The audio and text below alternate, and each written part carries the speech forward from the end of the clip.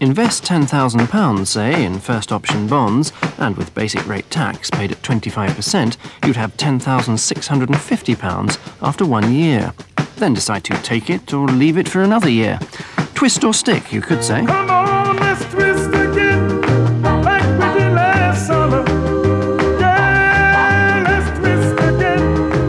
National Savings First Option Bonds. Security has never been so interesting.